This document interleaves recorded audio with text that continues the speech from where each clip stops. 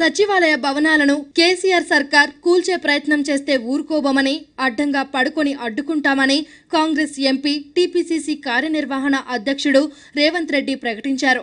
మిగిలిన పార్టీలు ప్రజా సంఘాలను కూడగట్టి ఉద్యమిస్తానని చెప్పారు. పిచ్చి ముదిరి కనిపించిందల్లా కూలగొడతామంటే అటు న్యాయస్థానాలు ఇటు కాంగ్రెస్ పార్టీ ఊరుకోబోమని తేల్చి చెప్పారు.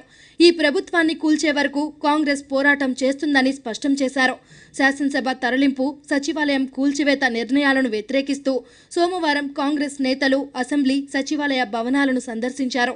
సీఎల్పీ నేత బట్టి విక్రమార్క ఆధ్వర్యంలో ఎంపీ రేవంత్ రెడ్డి ఎమ్మెల్యేలు శ్రీధర్ బాబు జగ్గారెడ్డి సీతక్క ఎమ్మెల్సీ జీవన్ రెడ్డి టీపీసీసీ కార్యనిర్వహణ అధ్యక్షుడు అధ్యక్షుడు పొన్నం ప్రభాకర్ ప్రసాద్ కుమార్ పరిగి రామ్మోహన్ రెడ్డి విజయ రమణారావు తదితరులు శాసనసభ నిర్మాణ ఫలకాలను పరిశీలించారు. సచివాలయ భవనాలను కూల్చాలని ప్రయత్నిస్తే తాము అడ్డంగా పడుకుంటామని మల్కాజ్గిరి ఎంపీ రేవంత్ రెడ్డి ప్రకటించారు. ఈ మేరకు పార్టీ కార్యకర్తలకు ఆయన పిలుపునిచ్చారు. ఇతర పార్టీలు ప్రజా సంఘాలను సమన్వయం చేసుకొని ఉద్యమాన్ని నిర్మిస్తామన్నారు. తన మూఢనమ్మకాల కోసం సీఎం కేసీఆర్ ప్రజాధనాన్ని దుర్వినియోగం చేస్తున్నారని ఆరోపించారు. సుమారు వెయ్యి కోట్ల విలువైన భవనాలను కేసీఆర్ బుల్డోజర్లు పెట్టి కూలుస్తామంటున్నారని ధ్వజమెత్తారు.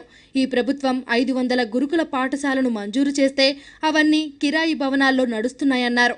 ఈ సొమ్ముతో ఎస్సీ ఎస్టీ బీసీ మైనారిటీ పిల్లలు చదువుకునే గురుకుల పాఠశాలలకు అత్యాధునిక భవనాలు నిర్మించే అవకాశం ఉందన్నారు.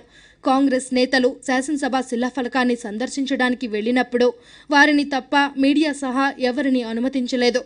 ఉన్న వాటిని కూల్చాలి. ఓ మహారాజు చక్రవర్తిలాగా ప్యాలెస్లు కట్టాలి. వాటిపై తన పేరుండాలన్న దుర్మార్గపు ఆలోచనే తప్ప ప్రజల అవసరాలు కేసీఆర్కు కనపడట్లేదు అని సీఎల్పీ నేత బట్టి విక్రమార్క ధ్వజమెత్తారు.